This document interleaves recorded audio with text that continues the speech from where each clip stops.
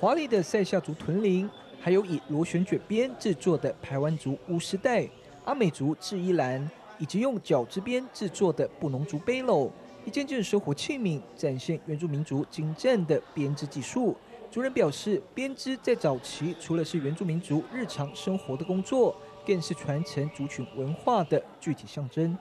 差不多三四点钟的时候，就会听到呃，cock cock cock cock cock cock 的声音呢。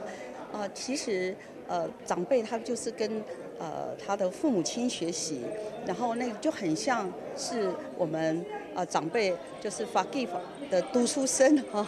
然后就是在。家里传承，那学习这些生活的器具。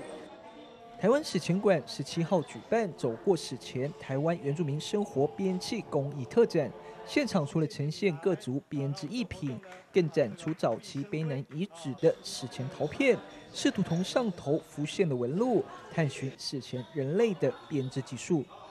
陶盖上面有那个习纹啊，习印纹哈。那我们可以从这个部分里面间接知道，说史前人类可能在早期做陶器的时候，他可能就放在那个席或者是边纹上面，好，所以他就为我们留下了这个证据啊，在考古的证据上留下来，让我们今天可以理解，更何况今天。我们从原住民当代的生活习俗、礼仪出发，看到编器或者编织这件事情，在我们当代的生活里头有非常丰富内容的展现。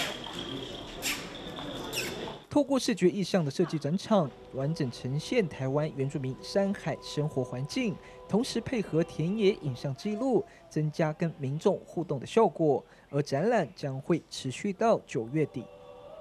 原视新闻，资本台东市采访报道。